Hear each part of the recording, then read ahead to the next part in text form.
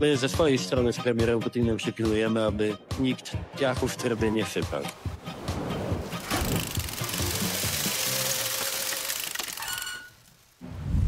Sceny jak z gangsterskiego filmu. Podejrzany wychodzi z aresztu dzięki prawnym kruczkom, zasłaniając się wątpliwym immunitetem. Na stróży prawa spada lawina krytyki, publiczność jest rozczarowana. W walce z przestępczością zdarzają się i takie momenty, ale 11 zarzutów, w tym udział w zorganizowanej grupie przestępczej, nie znika. To nie jest koniec filmu. Państwo prawa ma same zalety, oprócz jednej. Nie jest proste i tak jak w gangsterskich filmach, źli też potrafią to wykorzystać. Ale tylko na krótki czas. Prokuratura dobrze wykonała swoją robotę, gromadząc rzetelne dowody, a więc co się odwlecze, to nie uciecze. Panie premierze Donaldzie Tusku, bardzo mi przykro, ale za ten wpis pan poseł Marcin Romanowski podjął decyzję o pozwaniu pana na naruszenie jego dóbr osobistych. Nie jest on bowiem podejrzanym o żadne przestępstwa i tym bardziej nie jest podejrzanym o udział w zorganizowanej grupie przestępczej, która stanowi wyłącznie wyraz pewnych życzeń strony rządowej.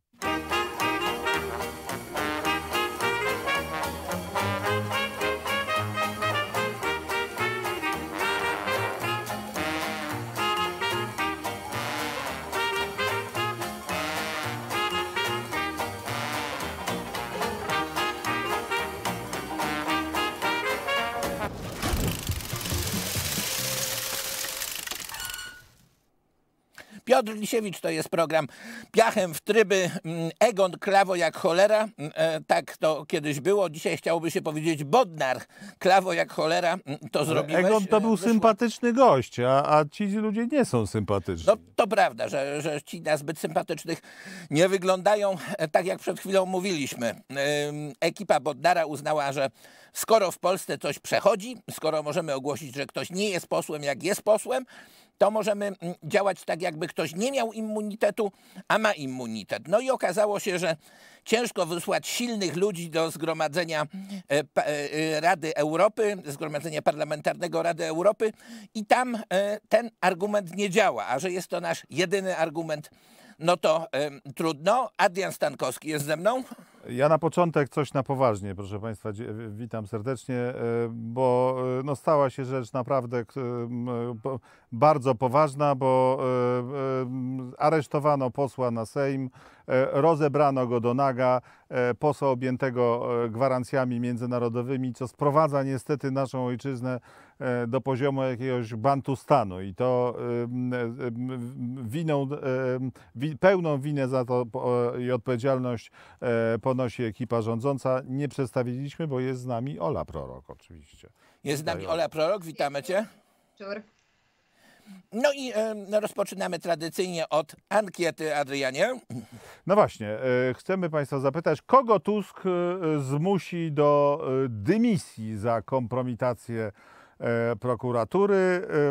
Pierwsza możliwość Adama Bodnara, czyli Bodnara tu jest, B teściową, C nikogo, bo tak działa doktryna Neumana. Może to już tak się chyba dzieje, bo właśnie próbują nam mówić, że kompromitacja nie jest kompromitacją, ale... to- Donald Tusk o tej teściowej mówił niegdyś w kontekście Borysa Budki, więc to mm, dymisja teściowej mogłaby mieć tutaj duże znaczenie dla systemu Platformy Obywatelskiej. Profesor Sadurski się wypowiedział w tej sprawie, że to będzie kompromitacja, jeśli obrona e, posła Romanowskiego będzie chciała kwestionować to, mm, e, że on nie ma immunitetu. E, Posłuchajmy profesora.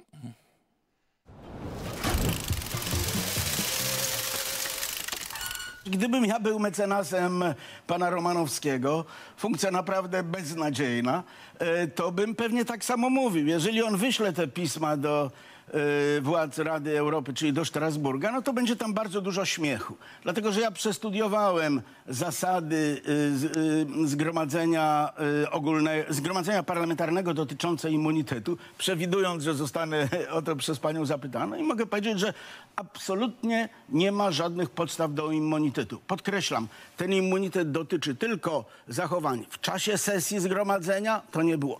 W związku ze zgromadzeniem parlamentarnym tak nie było i jako rzecz wtórna wobec immunitetu krajowego. Koniec, kropka. Niestety tu y, oni nic nie ugrają, a że się ośmieszą w w Radzie e, Europy. Nie po raz pierwszy, pewno nie ostatni.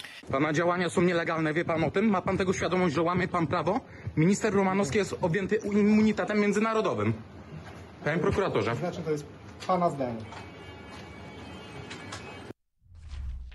Niniejszym pragnę potwierdzić, że jako członek zgromadzenia pan Romanowski korzysta z immunitetów i przywilejów przewidzianych w układzie ogólnym w sprawie przywilejów i immunitetów Rady Europy z dnia 2 września 1949 roku oraz w protokole dodatkowym z dnia 6 listopada 1952 roku, które zostały ratyfikowane przez Polskę w dniu 16 marca 1993 roku. W związku z powyższym byłbym bardzo wdzięczny, gdyby mógł pan pilnie zwrócić uwagę właściwych organów krajowych na immunitet przyznany panu Romanowskiemu przez Zgromadzenie Parlamentarne. W przypadku, gdy organy krajowe zostaną poinformowane o tym, że członek zgromadzenia korzysta z immunitetu, powinny zawiesić postępowanie sądowe do czasu uchylenia tego immunitetu przez Zgromadzenie Parlamentarne.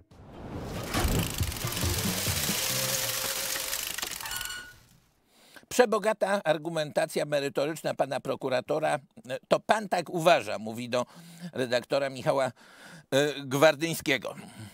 No właśnie, to jest kompromitacja nie tylko tam Bodnara, tych prokuratorów niedouczonych, y, ale też tej całej zgrai, przepraszam Państwo za, za, za wyraz, ale najmimordów, którzy bez zmrugnięcia okiem potrafią kłamać w żywe oczy najmimordów różnych profesji, chociaż to podobno jest charakter bardziej niż, niż zawód, który no właśnie wmawiają ludziom różne banialuki. I teraz jest taka okazja, żeby zobaczyć, że e, świat rzeczywisty wygląda zupełnie inaczej, że e, no te ich uczone e, tyrady, których jest bardzo dużo takiej grypsery, na przykład prawniczej w tym przypadku, ale to niekoniecznie o prawników zawsze chodzi. Grypsery, czyli takiego metajęzyka, co w, w, w, tak bardzo uczono brzmi, ale zawartość tego jest po prostu żadna. Oni po prostu nas wszystkich okłamują. I dzisiaj jest okazja, żeby, e, żeby to zobaczyć. E, czarno na białym, że po prostu gadają bzdury. Metajęzyk, czyli ten język, którego się używa na mecie, rozumiem. E, starsi no. widzowie wiedzą, co to jest meta. Ola Prorok. Ja mam wrażenie, że obecnie jesteśmy w takiej sytuacji, w której obserwujemy pewną bodnaryzację prawa, co oznacza, że mamy ekspertów plus opinie prawne, które często są wyżej niż konstytucja czy ustawy, e, a w tej sytuacji widzimy, że i pan Bodnar, i pan Korneluk tak się bali Zgromadzenia Parlamentarnego Rady Europy, że nie zapytali, czy ten immunitet działa, nie działa, e, czy, czy na przykład warto byłoby go uchylić, żeby mogli sobie e, swoje, swoje działania e, prowadzić. Natomiast tak się bali, że nie zapytali i stwierdzili, że oni i ich tęgie głowy, ich eksperci i opinie prawne stwierdzą, że jednak ten e, immunitet pana posła Romanowskiego międzynarodowy nie działa. Ja patrzę na tą sytuację trochę ze śmiechem, bo mamy taki chaos prawny, że już no, nie płaczmy, może się troszkę pośmiejmy, bo mamy taką sytuację. Pan premier Tusk, inkwizytor uśmiechniętej Polski, tak bardzo chciał wprowadzić nowe porządki. Najpierw im się nie udało z tą e, aborcją, bo tutaj wyłamał się pan Roman Giertych, no nie udało się, a on tak bardzo chciał takie ważne głosowanie.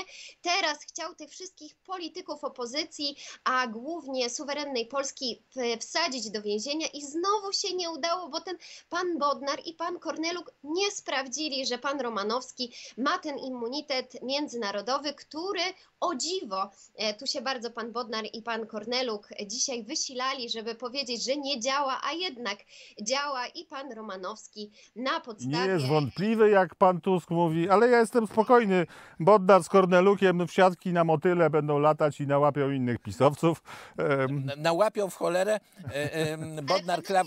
Ja zastanawiam, bo tak, już e, uchylili w tamten piątek właśnie posłowi Romanowskiemu ten immunitet nasz parlament krajowy. Ja się tak zastanawiam, bo już coraz częściej słyszymy, że ten poseł opozycji, tamten poseł e- opozycji powinien mieć uchylony immunitet. Ja czekam, aż pan marszałek Hołownia zdobędzie się na odwagę i jakimś dekretem marszałkowskim wszystkim posłom opozycji zdejmie te, e, te immunitety za jednym razem, żeby było łatwiej wprowadzić nowe rządy prawa uśmiechniętej Polski. Pan marszałek Hołownia, póki co to jak piła trączki umył, mówi to nie my, to pierwsza B. Słuchajcie, to jest tak, że po prostu u nas y, to, co powie profesor Sadurski w Gazecie Wyborczej obowiązuje, koniec, kropka. No a okazało się, że gdzie indziej niekoniecznie y, obowiązuje. No to teraz seria y, takich absurdalnych wypowiedzi ludzi pewnych, że to, co powiedzą, to obowiązuje, a prawo, prawo nie ma żadnego znaczenia. Posłuchajmy.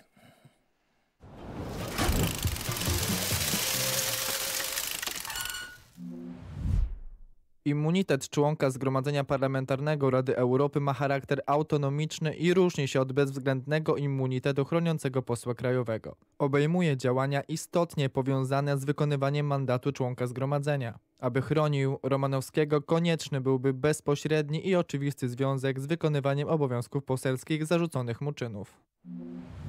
PiS wczoraj wymyślił bajkę o jakimś podwójnym immunitecie. Oni dalej żyją w oderwaniu od rzeczywistości. Myślą, że stoją ponad prawem, ale te czasy już się skończyły. Historia z podwójnym immunitetem to oczywista próba obrony swojego klienta, któremu prokuratura krajowa stawia 11 zarzutów. Taka jest rola adwokata. Zagadnienie to jednak było przedmiotem analizy i immunitet ten nie ma zastosowania w sprawie. Nie jest też ochroną przed grzechami przeszłości. Członkowie Zgromadzenia Parlamentarnego Rady Europy nie posiadają drugiego immunitetu. Ochrona posłów dotyczy udziału w obradach Zgromadzenia w Strasburgu czy Komisji w Paryżu. Obecnie nie trwa posiedzenie żadnego z tych gremiów. Od rozstrzygania wątpliwości jest sąd aresztowy. Rozmawiałem przed chwilą z ekspertem od Rady Europy, który twierdzi, że przed zatrzymaniem i aresztowaniem członka delegacji do Rady Europy wystarczy powiadomić ten organ o zatrzymaniu. Jestem przekonany, że prokuratura krajowa to zrobiła, więc temat immunitetu nie istnieje. Musimy zbudować na nowo wiarę Polek i Polaków i ich nadzieję w to, że słowa naprawdę coś znaczą. Że jeśli władza coś mówi, to nie robi wszystkiego dokładnie na odwrót.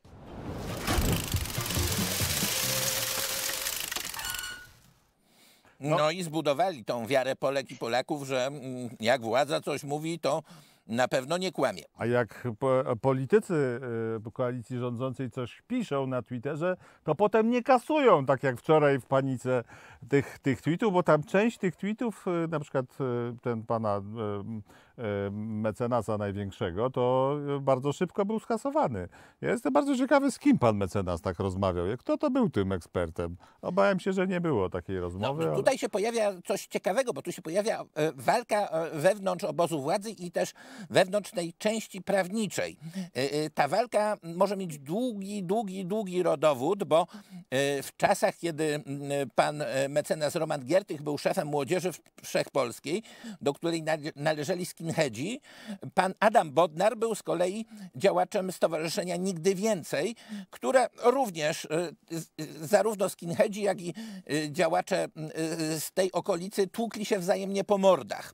I było też tak, że była taka brunatna księga Stowarzyszenia Nigdy Więcej i w tej brunatnej księdze wypadków różnych tam rasistowskich, ksenofobicznych, różnych innych, Roman Giertych był wymieniony 69 razy. Ja to kiedyś obliczyłem. Sądzisz, to dlatego jeszcze nie umorzył sprawy tego Polnordu? No. Tam, ile tam 100 milionów? e, No, no, no może, może, mo, mo, Dużo. może to być tak. To jest zamieszła historia, to jest nasza młodość, ale jak e, człowiek popatrzy dzisiaj na te konflikty, no to tam coś zdaje się, że o, ponieważ obaj panowie poszli w kasę i obaj panowie za młodu byli w grupach, które lubiły przemoc, em, mimo wszystko coś chyba iskrzy. Ola Prorok. Oj tak, iskrzy bardzo mocno. E, Zaszłości z młodości być może, być może również są. No na pewno e, wczoraj pan Giertych i dzisiaj e, szukał winnych i sugerował, że no to wina pana, pana Bodnara, natomiast takich sugerujących, czyja to wina było więcej, też pan Lis. No dzisiaj, dzisiaj koalicja rządząca nie miała zbyt dobrego dnia. Jeden drugiemu po głowie tweetem dawał, natomiast w tych tweetach, które pokazaliśmy jest ciekawa postać, bym powiedziała taki aktor drugiego planu, ale jakże istotny, czyli pan Myrcha, bo się okazuje, że w tym państwie... Zwany Belzebubem. Tak, w tym Zwany państwie Belzebubem, tak. opinii prawnych okazuje się, że e, pan wiceminister sprawiedliwości, to chyba na jego zlecenie były te opinie, z których wynika, e, że jednak ten immunitet międzynarodowy pana posła Romanowskiego nie działa. Co chyba nie do końca jest zgodne z rzeczywistością, no ale co my wiemy, jak mamy nową rzeczywistość. nie, niezgodne z prawem, ale to za chwilę do, do tych opinii do tych opinii y, dojdziemy. Chyba następny materiał poprosimy. Y, Wypuśćmy następny materiał. Marcin Warchoł, były wi- wiceminister sprawiedliwości, o tym, jakie mogą być koszty tego, co odwaliła prokuratura w sprawie posła Romanowskiego. Posłuchajmy.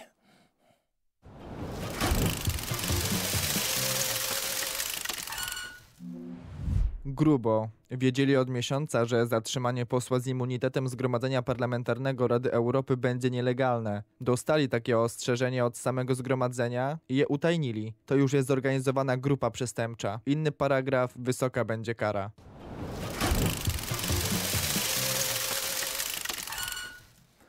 No właśnie, bo e, to, to jest międzynarod, naruszenie międzynarodowego immunitetu. To jest coś takiego, jakby, nie wiem, ambasadora jakiegoś kraju aresztować bez stosownych e, procedur. No i po prostu w, na całym świecie patrzą się na e, rząd Donalda Tuska jak na jakichś ludożerców. To po prostu jest coś ten, a kara powinna być adekwatna i będzie adekwatna. Tak się zastanawiam, gdzie oni azylu będą szukać, e, bo już chyba w Stanach nie bardzo mogą. W Stanach W Zjednoczonych. Stanach nie, ale są różne jeszcze kraje Ameryki Południowej, gdzie tradycyjnie niektórzy szukali. A może e, tu bliżej, na wschód z kolei. Tam, No, na wschodzie są, są kraje, które tam są chyba słynne. do, dobre układy, tak mi się wydaje. Dobre układy, no i kraje y, słynne z, pra- z praworządności. Może zanim Ola y, y, skomentuje jeszcze jeden materiał, y, pan poseł Paweł Jabłoński, zobaczmy y, jakby inny kontekst tej sprawy.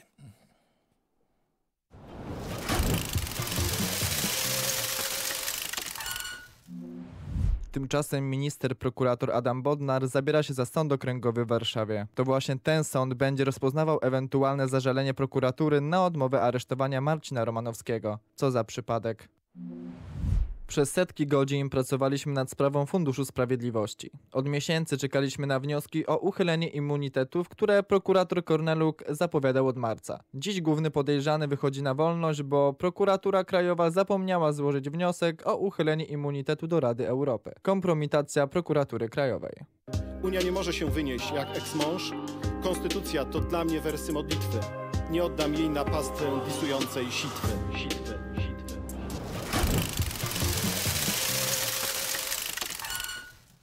Dziś sitwa Bodnara disuje e, e, polskie prawo, disuje e, wymiar sprawiedliwości. Jest to Ja na- na- poważny na- dis na miarę może antyliroja z lat 90.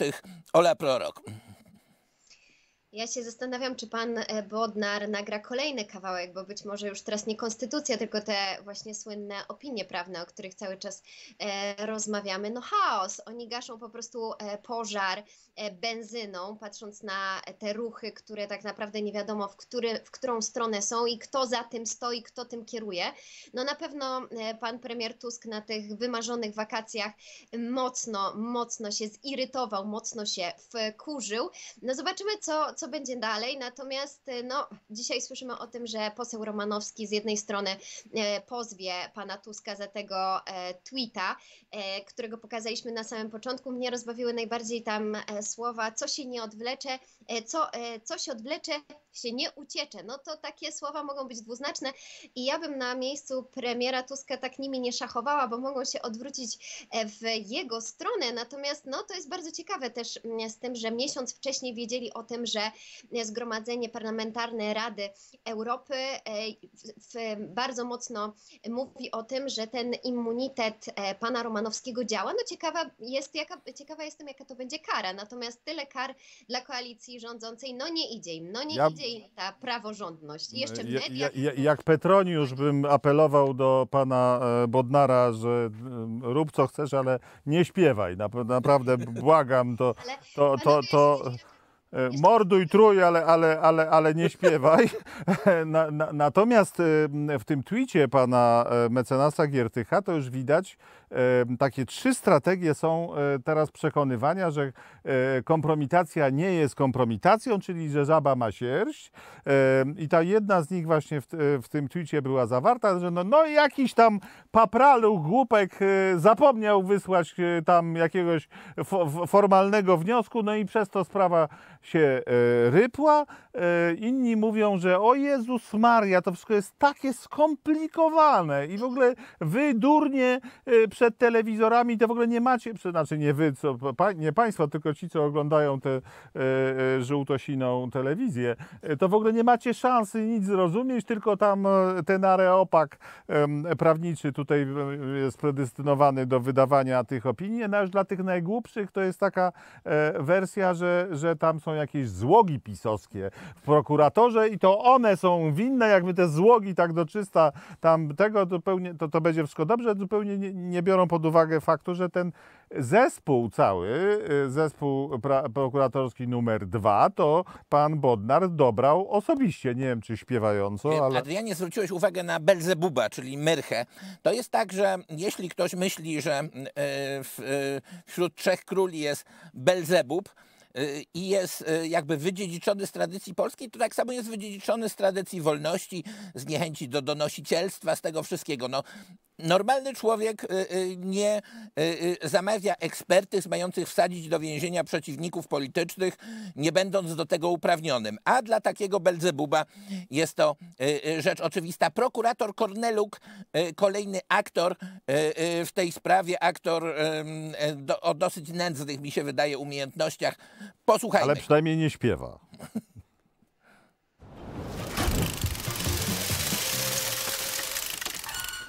Czy to minister Myrcha poza prokuraturą zlecił te e, ekspertyzy? Czy może pan to potwierdzić? Nie mogę potwierdzić, ale i nie mogę zaprzeczyć. Nie wiem, kto fizycznie zlecił. Wiem, że one są wkomponowane w materiał dowodowy e, i były podstawą e, wnioskowania przez prokuratorów.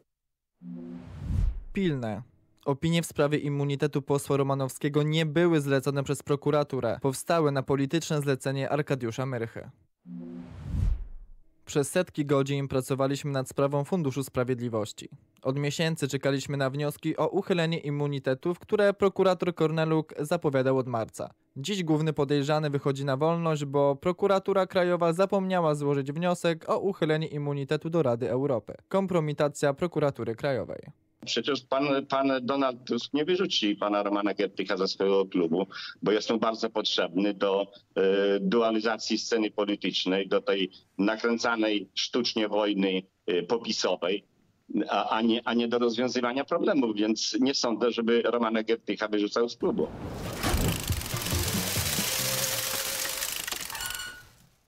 No, to poznajmy autorów tych opinii, e, te brylanty polskiej, e, e, po- po- polskiej, polskiej doktryny prawniczej. Pani doktor habilitowana Joanna Juchiewicz, Wydział Prawa i Administracji Uniwersytetu Warmińsko-Mazurskiego w Olsztynie, to jak widać potęga doktryny polskiej prawniczej oraz pan profesor Andrzej Jackiewicz, Uniwersytet e, w Białymstoku byli o, e, autorami tychże opinii, w której powtórzyli tak naprawdę argumentację rosyjską w sprawie Nadii Szewczenko.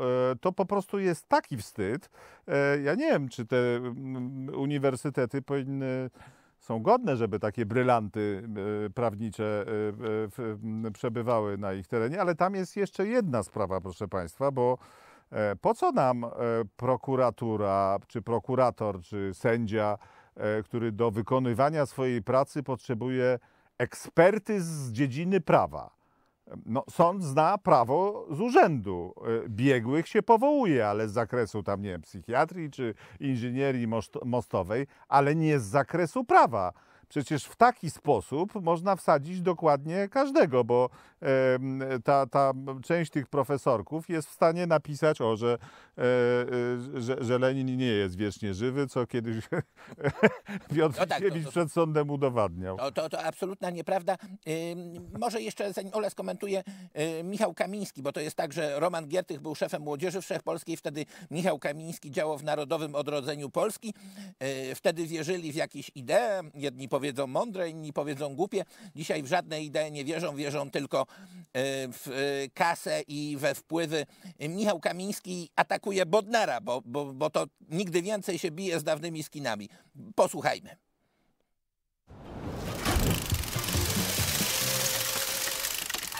ekipa pana ministra sprawiedliwości Adama Bodnara wykryła i słusznie, korzystając w dużym stopniu ze e, dowodów zgromadzonych przez zespół Giertycha i samego Giertycha, wyruszyła na wojnę z pisowską mafią. Niestety, proszę państwa, zaraz wam powiem, co mi to przypomina. Z dużej chmury szedł mały y, deszcz i dzisiaj nie my budzimy się rano zadowoleni, ale PiS, jak Polska długa i szeroka, rży ze śmiechu z powodu głupoty jakichś ludzi po naszej stronie.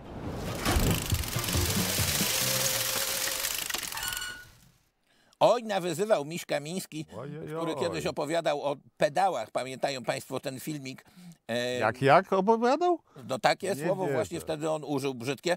Nawyzywał e, były działacz Narodowego Odrodzenia Polski e, Bodnarowców, bo to mm, inne są rodowody Ola Prorok. No, pojawiło się tu bardzo dużo ciekawych wypowiedzi, no ale dowiedzieliśmy się, po co te wszystkie działania są, po co jest ta wojna polityczna, no bo po prostu ci silni razem, ci wszyscy wyborcy Platformy mają się budzić rano i czuć się szczęśliwi, że w końcu w Polsce jest praworządność i ci wszyscy pisowcy są w więzieniach, no to po to, po to są te wszystkie e, działania, a tutaj niestety nie udało się i tylko ten PiS zły się śmieje. Natomiast e, odpowiadając też na tą kwestię, która się tutaj pojawiła, e, po co, po co w prokuratorze, w prokuraturze e, opinie prawne, no bo pan Korneluk, z tego co wiemy, no to on tak de facto jest nielegalnym prokuratorem, więc dlatego może on potrzebuje tych opinii prawnych, bo sam On wie. wygląda jakby potrzebował rzeczywiście, Tak. tylko po co nam taki potrzebny taki prokurator, który potrzebuje opinii prawnej? To też jest dobre pytanie, natomiast e, mnie rozbawiło, bo ja słuchałam całej tej konferencji pana Korneluka. On e, też dziennikarz jeden zadał mu pytanie, czy on wie, kto sporządził te, e, te opinie prawne, natomiast no, nie Nie. potrafił sobie przypomnieć. No nie potrafił sobie przypomnieć, co to za wybitni eksperci przygotowali ten materiał dowodowy do sprawy, ale rozłóżmy tą sytuację na części pierwsze. Mamy opinię prawną, która została zlecona przez bardzo mocno zaangażowanego polityka e, koalicji rządzącej, polityka Platformy, który bardzo mocno nie lubi opozycji, nie lubi PiSu. On zlecił te opinie prawne, na podstawie których e, pan e, Romanowski nie ma tego immunitetu międzynarodowego i powinien iść do więzienia za też no, Po, po czym te opinie do, do, dołączył do akt sprawy, co zupełnie nie jest sugestią polityczną, jakie decyzje mają prokuratorzy podejmować.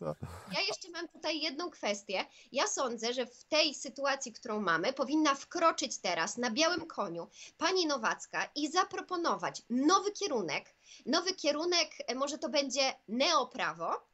I ci wszyscy eksperci będą wykładać prawo polskie na bazie opinii, bo może, może zmierzamy w tę stronę, że będzie nowy system nauczania prawa w Polsce, bo po co nam konstytucja, ustawy, jakieś przepisy, e, paragrafy? No nie, no mamy opinię, jak wiemy, że opinia pochodzi od odpowiedniego eksperta, to wiemy, że Może jakąś katedrę tworzenia takich opinii. Bo to, E, to też- Słuchajcie, Ola zrobiła na ten temat sondę, no to posłuchajmy.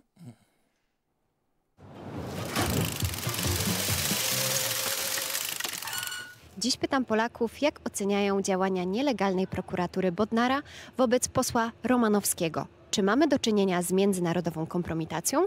Tak jak większość Polaków, bardzo, bardzo źle. To prowadzi do anarchii. To jest nie, nie do zaakceptowania, co się dzieje. w ogóle nic nie działa. Oni robią co chcą. Na 100% chaos prawny. Przecież to jest, to się w głowie nie mieści, co oni wyprawiają. Całkowicie Przecież to nasz jest- kraj się stał jakimś Ja krajem wiem, bezprawia. to Gdzie jest ten, co taki miał napis Konstytucja? Gdzie on jest teraz? Gdzie on widzi, co jest grane w kraju? No on teraz tą koszulkę powinien założyć i pokazać ludziom. To jest propaganda Tuska i koniec. Co oni teraz wyczyniają, nie podoba nam się. Korneluk nie wiedział, co ma powiedzieć. Dzisiaj. Wił się jak wąż. Boa. Czemu właśnie nie, nie wiem, nie sprawdzili? Pokazówkę zrobili? Co chcieli z tego? Na zbyt szybko raczej to wygląda na um, zemstę. No nie bardzo takie fair jest, dlatego że człowieka wyprowadzili w kajdankach, który, ja nie wiem, Bogu ducha może winien jest.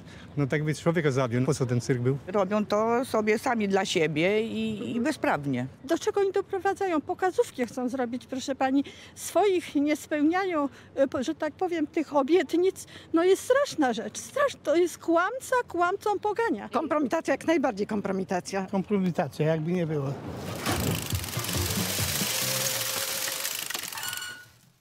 No, sonda najlepiej zawsze komentuje takie, mm, takie wydarzenia. Inne wydarzenie, proszę Państwa. Latorośl pana prezesa Rady Ministrów, jego syn Michał okazał się no, tak zdolny, tak jest zdolny do wszystkiego, że awansował. Zobaczmy materiał.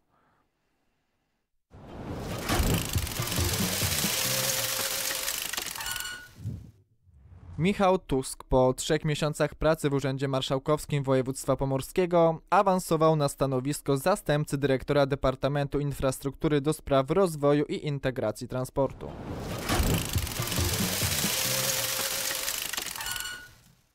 Olu, czy y, Michał Tusk będzie do pracy chodził y, z, tor, z torebką taką od Biedronki?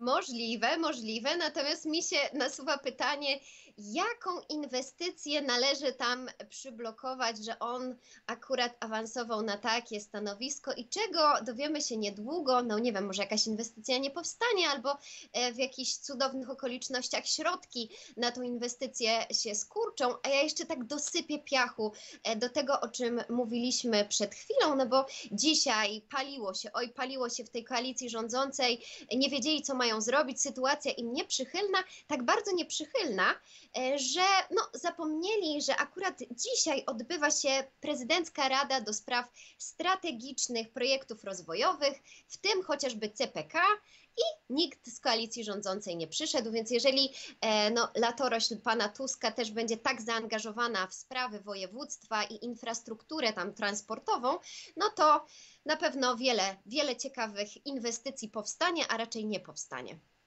No to my na koniec jeszcze do Ameryki, bo y, świat tym żyje. Wiemy, że żyje tym wielu naszych widzów. W Poznaniu pod siedzibą Platformy Obywatelskiej y, tłum skandował Donald Trump, Donald Trump, solidaryzując się z prezydentem, który o mały włos uniknął śmierci. Artyści również y, zaczęli pokazywać tę sytuację, bo niewątpliwie przejdzie ona do historii. Zobaczmy.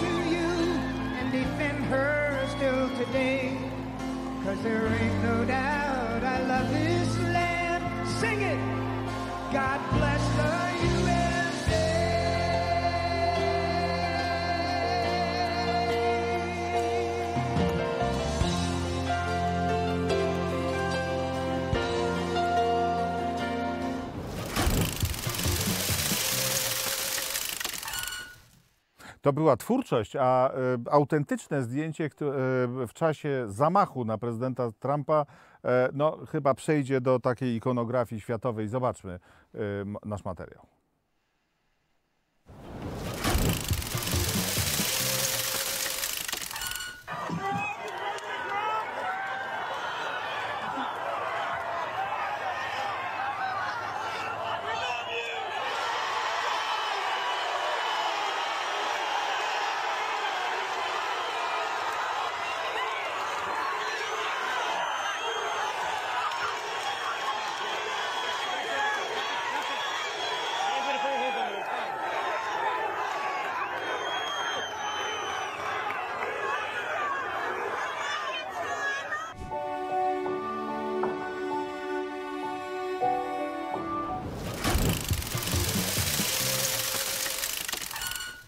Zdjęcie wyszło rzeczywiście epickie, mm, ale my Państwu jesteśmy winni wyniki ankiety.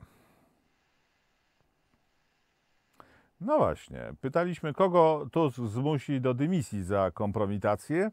E, Były trzy możliwości, Państwo e, wybrali trzecią. Nikogo, bo działa doktryna Neumana. No chyba obawiam się, że to tak, tak może. Ale padły jakieś głosy na to, że zdymisjonuje Bodnara. To ku naszemu Ale teściową też. Więcej na teściową jednak padło niż na Bodnara. Więcej postawiło na teściową. Ola Prorok była dzisiaj z nami. E, Adrian Stankowski, od razu zapraszamy na program Jacka Sobali. Już czeka na spotkanie z Państwem. I można do Jacka Sobali dzwonić. Zostańcie Państwo z telewizją Republika.